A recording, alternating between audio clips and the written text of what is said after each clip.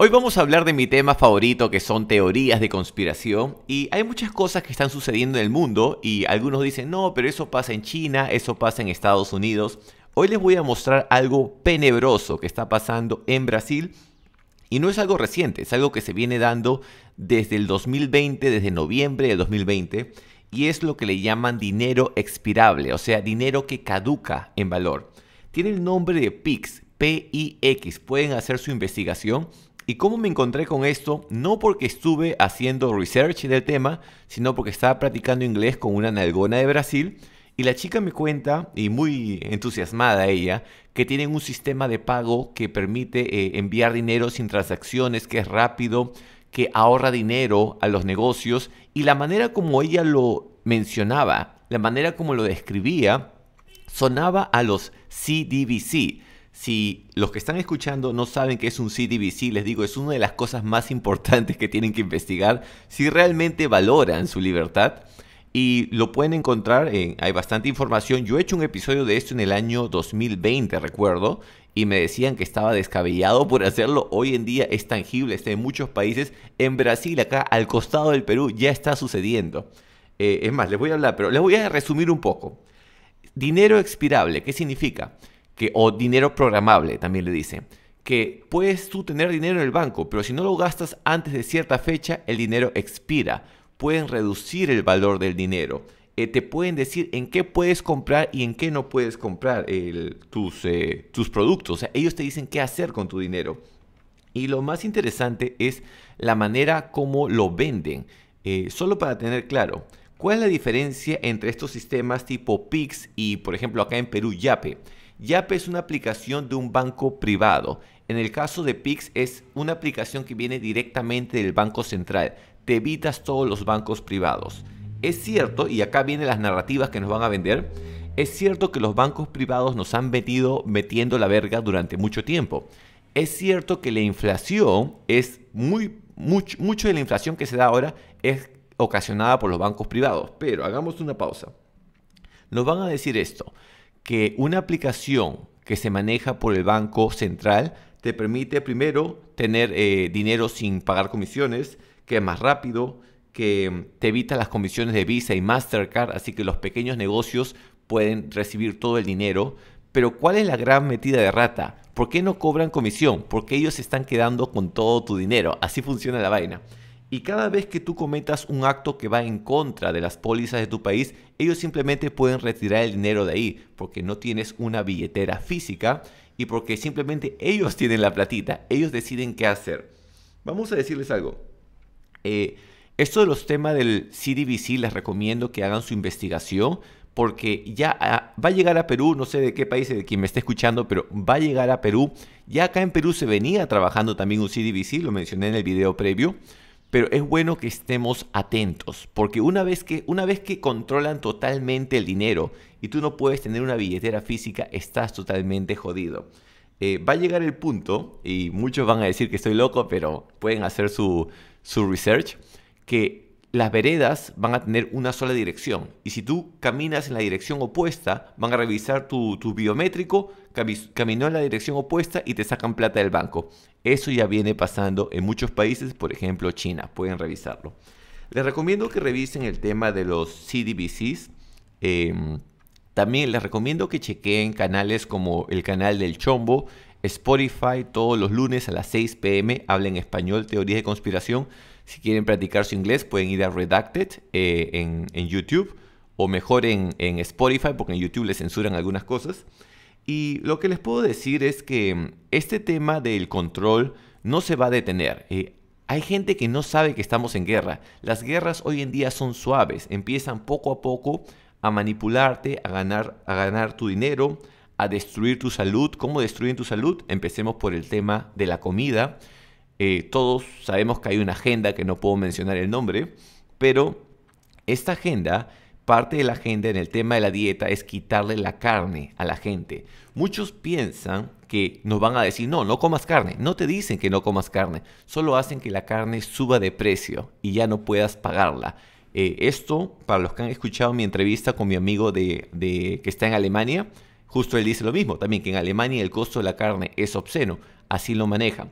Acá en Perú el costo de la carne ya es caro, pero recién está empezando porque nuestra presidenta, y pueden hacer su investigación, va a hacer negociaciones con el presidente de China para exportar carne a China. Imagínense, o sea, si la carne ya está cara acá en Perú, si la exportas se vuelve más cara. Empiezan destruyendo tu dieta, luego tu salud mental. Eh, bueno, destruir la salud mental de la gente no es, no es difícil porque simplemente hacen que tus hábitos sean malos, pero incluso para la gente que tiene buenos hábitos empiezan a practicar tácticas de manipulación mental, que si desean saber más a fondo en mi canal Uncle Balta de WhatsApp, está acá en la descripción, he dejado el link, eh, ya existen tecnologías mediante sonidos y ondas que pueden no solamente eh, manipular tus emociones, sino también sembrar ideas. Y está todo a detalle. No es casualidad que de la nada hay sonidos agudos por todo lado y, acá muchos son jóvenes para saberlo, pero muchos años atrás era muy muy raro encontrar un carro que cuando retroceda haga un sonido. Y si hacía un sonido, ¿saben qué sonido era? Era... Ya, ese era el sonido. Ahora son sonidos agudos bien hijos de puta que se escuchen a 3, 4 cuadras en carros incluso pequeños, en puertas de, de casas en todo lado y no es casualidad. Al mismo tiempo todo eso sucede porque quieren destruir nuestra salud mental y por si acaso, esto lo están haciendo también ahora y lo había leído yo hace mucho tiempo que era, era parte del plan, pero ahora lo estoy viendo acá incluso en Surquillo, en carros de basura a las 2 o 3 de la mañana para destruir tu salud mental mientras duermes. Nos están jodiendo con el dinero, con el tema de los alimentos, la salud mental, del transporte ni siquiera tengo que hablar. No es coincidencia que en ciertas avenidas principales deciden reducir un carril para que pasen las bicicletas, que a las 500 pasa una bicicleta, pero te achican el carril para que la gente no pueda movilizarse. Y sabemos que eso tiene nombre, la ciudad de los 16 minutos menos uno. Todo eso se está dando. Y, y acá un pequeño paréntesis, porque muchos de los que están viendo eh, saben, entienden, pero a veces dicen, oye, pero no se lo puedo decir a nadie porque se lo digo a otra persona y me dicen que estoy loco. No, así funciona.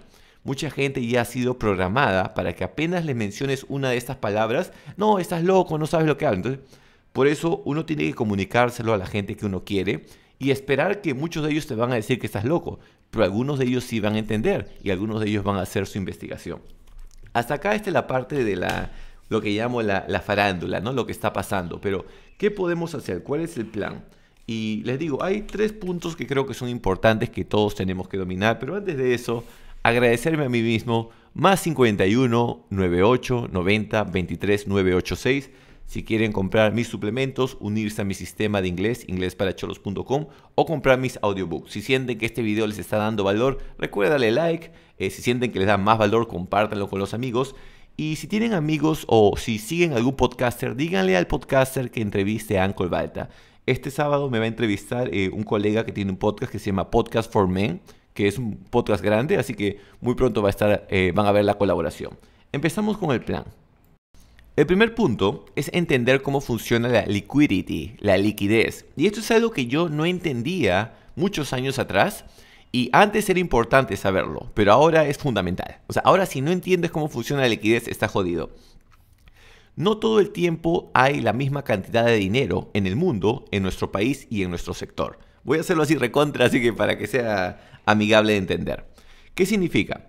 Eh, si tú eres un pequeño freelancer, trabajador independiente, empresario o quieres empezar a ser un freelancer, es importante que entiendas que va a haber momentos en que todos tienen dinero y otros momentos en que nadie tiene dinero. Cuando todos tienen dinero, por ejemplo, que van a liberar la, platita de la FP o a los, ¿cómo se llama? A los, a los tíos Fonavi, ¿no? A los Fonavistas les van a dar su plata. Cuando todos tienen dinero es, es fácil de vender. Cuando la gente no tiene dinero, no te esfuerzas vendiendo, sino más bien te esfuerzas estudiando o trabajando tu marca personal. Esa, es la estrategia de Uncle si hay dinero, vendo y cuando la gente está bajo dinero, más bien me esfuerzo en mejorar mis habilidades. Entiendan el tema de liquidez global, liquidez nacional y liquidez en tu sector. Si desean, puedo hacer un episodio solamente de eso próximamente, así que suscríbanse al canal. Segundo punto, tenemos que construir nuestro equipo. Eh, si estamos claros que estamos en guerra, el que, el que diga que no estamos en guerra ya es está, por favor, vaya a su TikTok. Pero si estamos, en si estamos claros que estamos en guerra, tenemos que buscar un equipo. Y no todos van a alinearse, no todos están de acuerdo en que tenemos que cuidarnos entre nosotros, no, no, teoría de conspiración, ya, a esos los dejas de lado. Pero con quienes podemos contar. Y armar un equipo eh, te va a recordar bastante a, a las épocas de colegio. No sé si se acuerdan la época de colegio. Armaban los equipos de fútbol. Llamaban al capitán de uno, del otro y decían al capitán, elijan. Ya. Ellos elegían a todos, pero ¿quién se quedaba al final? El gordo mofletudo. Entonces, ¿para quién va a ser difícil armar un equipo? Primero, para el que no esté buscando un equipo. Y segundo, para el que no tenga habilidades y no sea confiable. Si tú eres bueno en lo que haces, todos te van a querer en su equipo. No importa tu apellido, tu color, cómo, cómo te vista, no. Si eres bueno en lo que haces, todos te van a querer en su equipo, número uno. Y segundo, que seas confiable. Ser confiable va desde cosas tan básicas como tu amigo te presenta a su amiga que tiene 18 años, está algona y se ve bien jugosa, no se la quitas, más bien te haces amigo de ella para que ella te presente a sus amigas. Entonces ya puedes confiar en, en ese tipo. Pero si tu amigo te quiere quitar hasta tu flaquita, entonces no es confiable. Rodearnos de gente que, que son confiables. Segundo punto, liquidez primero. Segundo, equipo. Y la tercera, yo diría, es eh, ser agradecido. Y ser agradecido es como un músculo que se va trabajando. Y esto van a ver cómo lo aterrizo, porque parece algo extraño. Ser agradecido nos permite tener awareness, conciencia sobre las cosas positivas. Cuando tú tienes awareness sobre las cosas positivas, tu cerebro racional está diciendo al subconsciente, dame más de lo bueno. Le estás concentrando, dame más de eso. Eh, ¿Ves algo que te gusta? Te concentras en eso. ¿Ves a tu perrito feliz?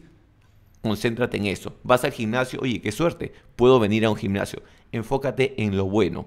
Awareness nos permite entender todos los beneficios que ahora tenemos y cuando empezamos a perdernos nos damos cuenta que los estamos perdiendo. Pero si no hay awareness de lo bueno, nos pueden quitar lo bueno y cuando nos demos cuenta va a ser muy tarde.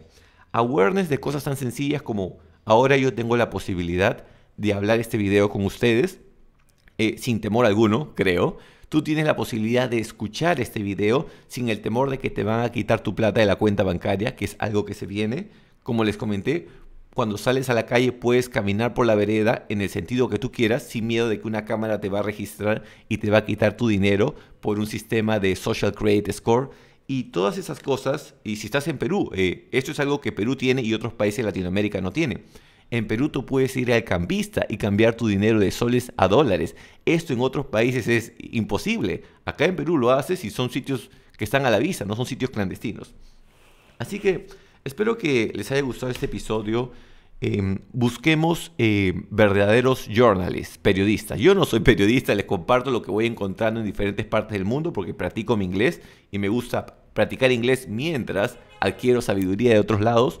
Pero tengamos, estemos atentos, eh, ayudemos a nuestra gente, a nuestros padres, si están viendo un canal de, televisión que no da buena información, oye papá, mira, también hay este canal, por si acaso. No decirle que él está mal, sino mostrarle. Y si tú eres adulto y ves que tu hijo está hueveando en TikTok, dile, oye, mira, acá también hay otro canal de donde puedes informar. Entonces, ayudemos a los mayores, a los menores, pero entendamos de que somos un equipo. No se trata de yo sé más que tú y acá voy a soltar, siempre Uncle Balta, ¿no? Le gusta ver comportamientos en la sociedad.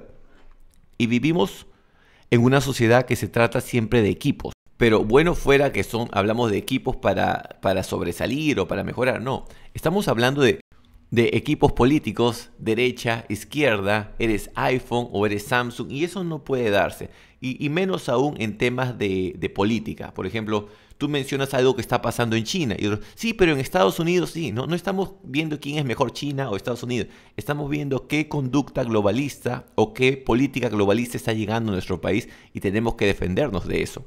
Y si tú hablas de un político y dices, sí, pero el otro político, no, no, no, no se trata si el otro político lo hizo, este también lo puede, simplemente es qué cosas está jodiendo en el país y qué podemos hacer desde nuestra pequeña escala, yo, mi barrio, mi familia, cómo podemos empezar desde micro para poder impactar el macro. Espero que les haya gustado este episodio. Ya saben, si quieren contactarme, más 51 9890 23 986. Compartan la palabra estos episodios en Spotify, José Balta en español, Uncle Balta en inglés. Y quiero revisar en los comentarios su sabiduría. Bendiciones.